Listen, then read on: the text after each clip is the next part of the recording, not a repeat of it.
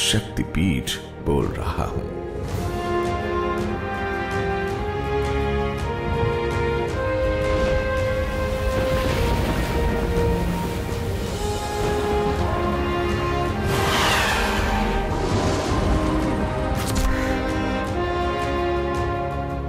मैं अखिल ब्रह्मांड से उपजा संकल्पों का एक शक्ति पुंज हूँ।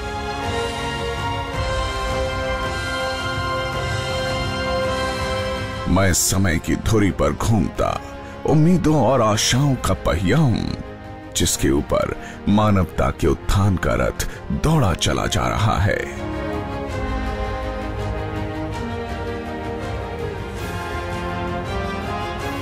मैं परम शक्ति पीठ बोल रहा हूँ।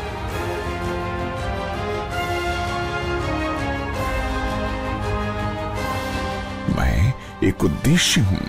उद्देश्य मानव मात्र की सेवा का। मैं एक संकल्प हूँ। संकल्प दर्द और पीड़ा से मुक्ति का।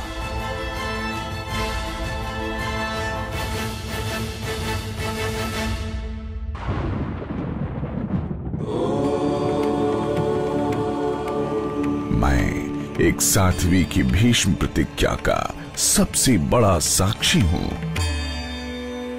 मैं परम शक्ति पीठ बोल रहा हूँ। दीदी माँ ने छोटे बच्चों के निमित्त से और वृद्धों को माताओं को इकट्ठा करके जो खून के रिश्ते नहीं जहाँ खून के रिश्ते फेल होते जा रहे हैं वहाँ भावना का संस्कार का रिश्ता मज़बूत बनेगा। मैं समझती हूँ कि वात्सल्य की नारायणी धारा सारे विश्व को आप लाभित करे।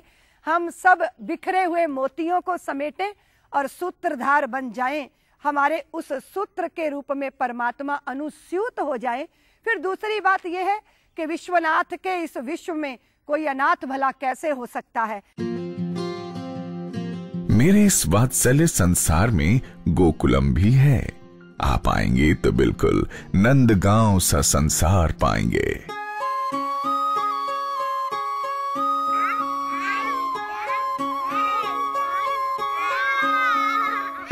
सुन रहे हैं ना? ये खिलखिलाहट ये किलकारियाँ यही मेरा परिचय है।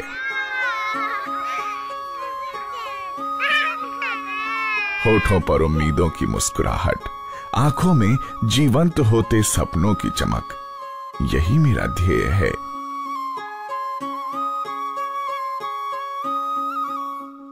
जिनके जीवन का आसरा खत्म हो चला था उनके सपनों का पुनर्जन्म। यही मेरा अस्तित्व है। वात्सल्य संसार की माँ, मौसियों, नानियों से भरे पूरे इस गोकुलम में वैसे ही प्रेम से रहते हैं, जैसे कृष्ण काल में लोग रहा करते थे। दीदी माँ ने 2003 में ही ये प्रेम गाँव बसाया है। चरित्रहीनता के चौराहे पर छोड़ दी गई संततियों को, सनातन की संतान समझ के संभालना और फिर कर्ण और कबीरों को राष्ट्र के निर्माण की योजना में लगाना, ये वात्सल्य का उद्देश्य है। और इसी उद्देश्य के, को पाने के लिए वात्सल्य धीरे धीरे अपने चरण आगे बढ़ा रहा है। मेरे पालने में आते हैं समाज से तिरस्कृत बच्चे। मुझे पता नहीं होता कि वो नवजात किन परिस्थितियों से आया है। उसे सबसे पहले मेडिकल एड की ज़रूरत होती है। इसी को ध्यान में रखते हुए स्थापना हुई जीडी बंसल स्वास्थ्य अस्पताल की।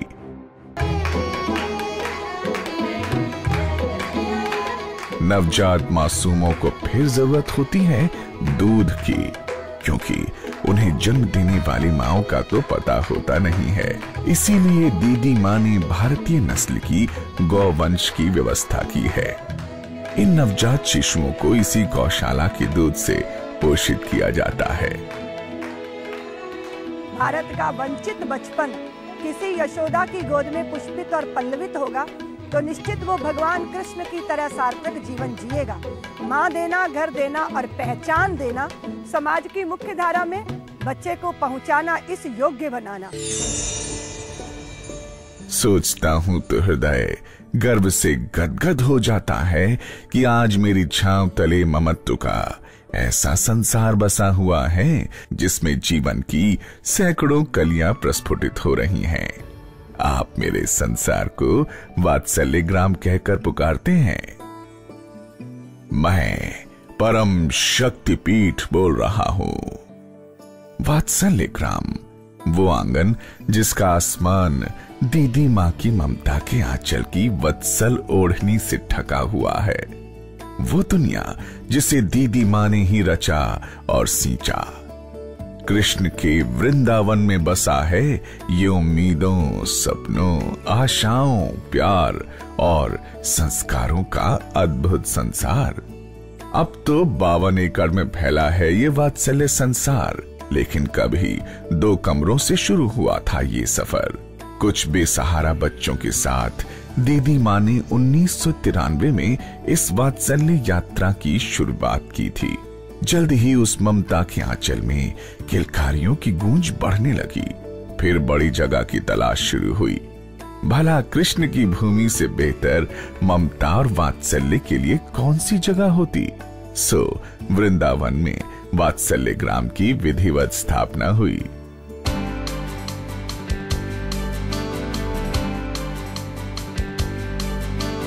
दीदी माँ के संकल्पों में शिक्षा का एक अलग महत्व है।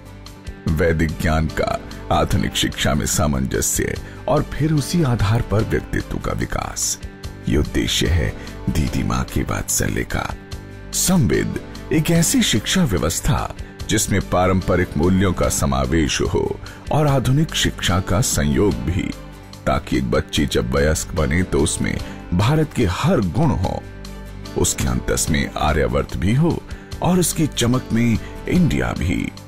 इसी सोच और संकल्प के साथ 2006 में संविद की शुरुआत हुई।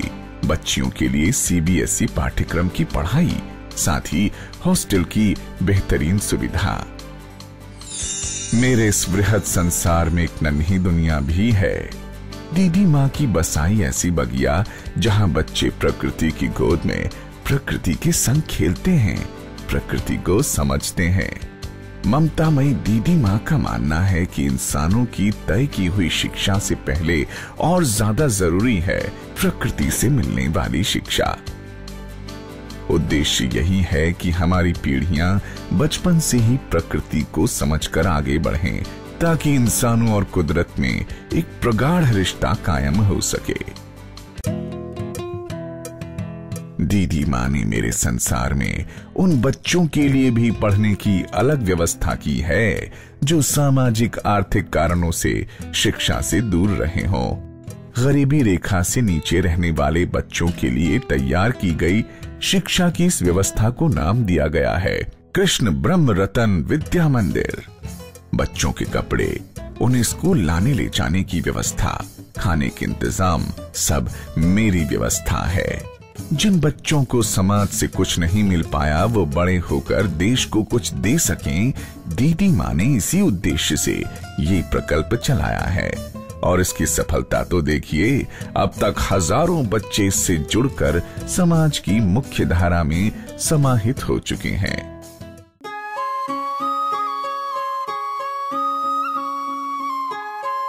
मैंने कहा था ना कि दीदी माँ हर किसी के लिए सोचती है। उनके मन में उन बच्चों को भी शिक्षित बनाने का संकल्प है, जो विशिष्ट होते हैं। संसार उन्हें मानसिक तौर पर कमज़ोर और विकलांग न जाने क्या क्या कहता है। लेकिन दीदी माँ उन्हें विशिष्ट मानती हैं। ऐसे ही विशिष्ट भाव से युक्त बच्चों की शिक्षा और उन्हें स्वावलंबी बनाने की दिशा में जो प्रयास आरंभ हुआ, वही वैशिष्ट्यम है।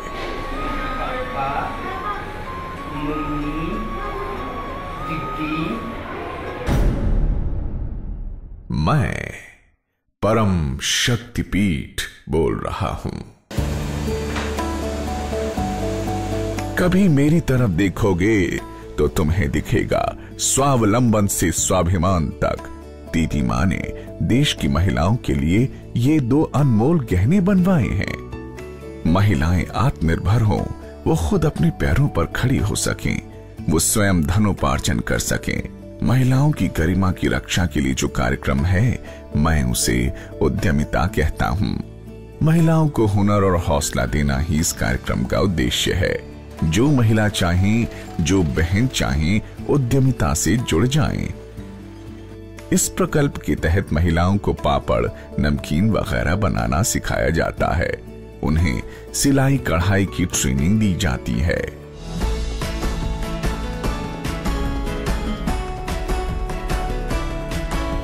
वात्सल्य ग्राम में बच्चियों, युवतियों के व्यक्तित्व विकास के लिए कैंप लगाया जाता है। Personality development camp. ये एक प्रयास है अस्तित्व की लड़ाई लड़ती लड़कियों में आत्मविश्वास भरने का, ताकि वो स्वयं की रक्षा ही नहीं, समाज की रक्षा भी कर सकें। यहाँ पे आके मुझे बहुत अच्छा मतलब बहुत मज़ा आ रहा है बिकॉज़ यहाँ पे हम अपनी पर्सनैलिटी डेवलप कर सकते हैं। यहाँ पे अलग अलग गेम्स खेलने को मिल रही हैं।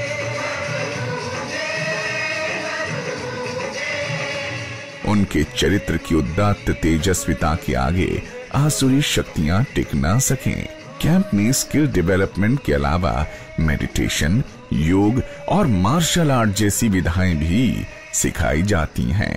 हमें अपने फ्रेंड्स की कमी ज़रूर महसूस बहुत अच्छा शिविर है बहुत अच्छा लगा। हमें यहाँ आके दीदी माँ से मिला यहाँ हमारा सबसे बड़ा सौभाग्य अच्छी पर्सनैलिटी डेवलप हुई है। नई चीज़ें सीखी है लाइफ में कैसे पेश आना सबके हक हमें इस बात का एहसास हो गया कि हमारे लिए माँ बाप बहुत इस दुनिया में कीमती रखते हैं। बहुत याद करेंगे हम सबको। और आप भी हमको याद करना बराबर।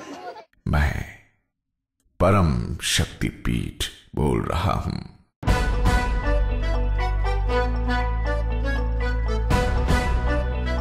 मेरे संकल्पों के शिलालेख पर राष्ट्र रक्षा और राष्ट्र रक्षक का सम्मान सबसे ज़रूरी हिस्सों में से एक है। इसके लिए हर साल राष्ट्र रक्षा सूत्र यात्रा होती है। वात्सल्य ग्राम से बहने अमर जवान ज्योति पर आकर शहीदों को श्रद्धांजलि देती हैं। फिर राष्ट्रपति से मिलकर सैनिकों के नाम उनका संदेश लेती हैं और सरहदों पर जाकर अपने सैनिक भाइयों की कलाई पर राखी बांधती हैं।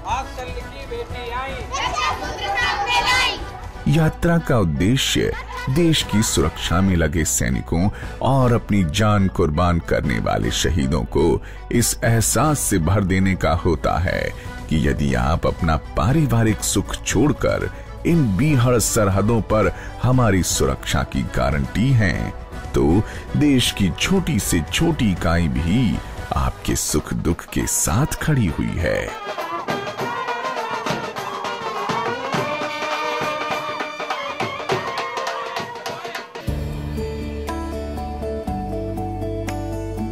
अठारह सौ सत्तावन से उन्नीस तक के उन क्रांतिवीरों की कुर्बानियाँ इस संग्रहालय में उकेरी गई हैं, जो इतिहास के पन्नों में कहीं खो से गए हैं। पाँच जन्य के संस्थापक सदस्य और दीदी माँ के संकल्पों के सहयोगी भानु भैया के नाम पर ही इस संग्रहालय का परिचय है। नाम है भानु प्रताप शुक्ल स्मृति शहीद संग्रहालय। 1935 में जन्मे भानु भैया ने अपना पूरा जीवन राष्ट्र को समर्पित किया। 2006 में परम धाम को पधारने से पहले भानु भैया ने भारत के बहाल पर कर्तव्यों का वो पथ तैयार किया है, जिस पर चलकर आज की युवा पीढ़ी देश को एक नई और मज़बूत पहचान दे सकती है। आप कभी आएँगे तो इस संग्रहालय को देखकर ही महसूस करेंगे कि आदरणीय भानु प्रताप शुक्ल ने हमें कुर्बानियों का वो संसार उपहार में दिया है, जिसने हमें स्वतंत्र भारत में सांस लेने के काबिल बनाया।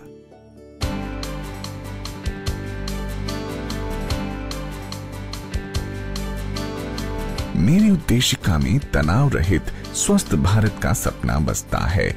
इसी उद्देश्य से मेरे संसार में तीन अस्पताल हैं। जीडी बंसल स्वास्थ्य अस्पताल, तमाम आधुनिक सुविधाओं से सजा है यह अस्पताल।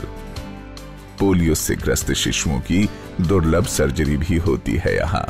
प्रेमवती गुप्ता नेत्र अस्पताल, ताकि लोगों की आँखों और ज़िंदगी में रोशनी दमकती रहे। अस्पताल में हर साल हज़ारों लोगों की आँखों का देश की प्रतिष्ठित आई सर्जनों से निशुल्क ऑपरेशन कराया जाता है। सीता एवं कला दरियानमल सदा रंगनी नेचुरोपैथी एवं शोध केंद्र, ताकि चिकित्सा की प्राकृतिक विधि का भी इस्तेमाल हो सके। मैं परम शक्ति पीठ बोल रहा हूँ। मैंने देखा है दीदी माँ के आंचल तले पल रहे वात्सल्य ग्राम का विस्तार वृंदावन का ये संसार अब मध्य प्रदेश के सिजई हिमाचल प्रदेश के नालागढ़ गुजरात के डाकौर में भी अपनी स्नेहिल बाहें फैला रहा है મારું સદભાગ્ય છે કે મને વાત્સલ્ય ધામ ના દર્શન કરવાનો અવસર મળ્યો છે ત્યાં ઘટાટોપ વૃક્ષોની વચ્ચે માં ભારતીની આરાધના અને ભારત માતાના શ્રેષ્ઠ સંતાન બનવાની મથામણ એનો એક ઉત્તમ પ્રકારનો યજ્ઞ ચાલી રહ્યો છે એ યજ્ઞની એક નાનકડી આહુતિ मैं जानता हूँ इसलिए दावे से कहता हूँ कि दीदी माँ का वात्सल्य उस बादल की तरह है जो हर उस धरती पर बरस जाता है जहाँ उसकी जरूरत होती है इसीलिए तो एक वात्सल्य ग्राम मध्य प्रदेश के आदिवासी बहुल इलाके ओमकारेश्वर में बस गया है। शिव के आँगन में साल 2008 से बह रही है ये स्नेह सुधा। आदिवासी बच्चियों को मुख्य धारा से जोड़ने के लिए उन्हें आधुनिक शिक्षा दिलाना ही है इस ग्राम का संकल्प। और सैकड़ों मासूम बच्चियाँ अब तक इस संसार में आ चुकी हैं। मैं परम शक्तिपीठ बोल रहा हूँ।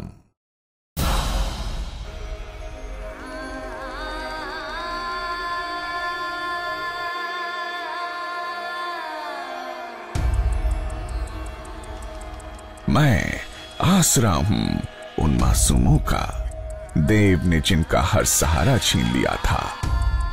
मैं उम्मीद हूँ नाखों की, कुदरत ने जिनसे जीवन की रोशनी छीनने की कोशिश की थी।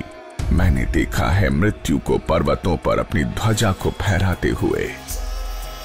मैंने देखा है दीदी माँ की ममता से पिघलते अहमकारी चट्टानों को। मैंने देखा है 2013 का वो विनाश, और फिर उस विनाश को मात देता इस साध्वी का सेवा भाव। उत्तराखंड की जिस भूमि पर प्रकृति का कोप बरसा था, आज उसी भूमि पर देव विहार करते हैं। वो देखने आते हैं कि कैसे दीदी माँ इन वीरान पहाड़ों पर उत्तराखंड राहत पुनर्वास कार्यक्रम चला रही हैं। और चमत्कार तो देखिए, एक दो नहीं अलग अलग जगहों पर कुल ग्यारह केंद्र हैं। विनाश लीला में अपना सब कुछ लुटा चुके मासूमों और महिलाओं को फिर से जीवन दान के लिए।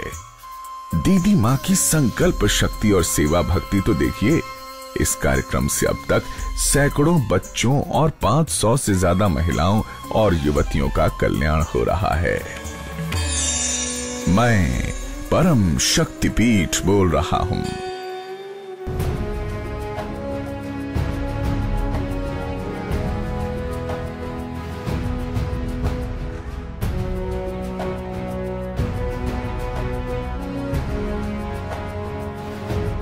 दीदी माँ मेरी बेटी और मेरी माँ भी हैं।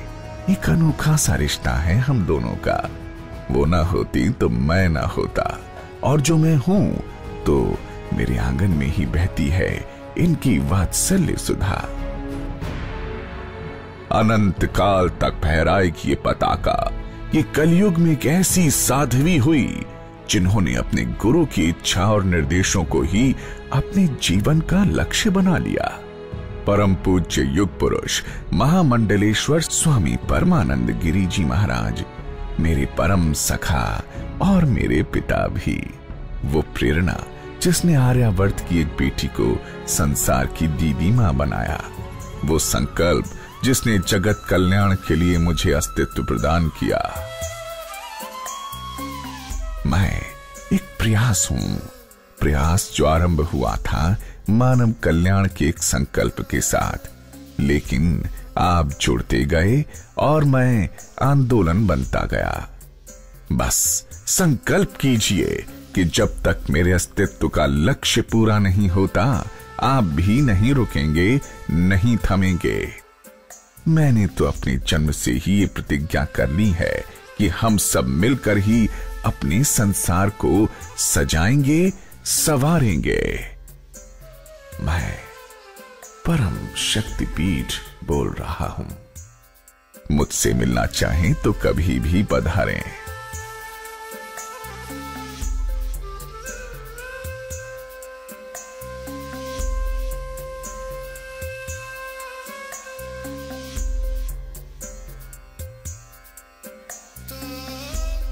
मुझसे बातें करने का मन हो तो कॉल करें। मुझे जानने के लिए लॉग ऑन करें। मेरे लिए अगर कोई सुझाव हो तो ज़रूर बताएँ। आपके सहयोग से ही यह आंदोलन है। प्रतिदिन सिर्फ़ एक डॉलर देकर आप इस आंदोलन से जुड़ सकते हैं।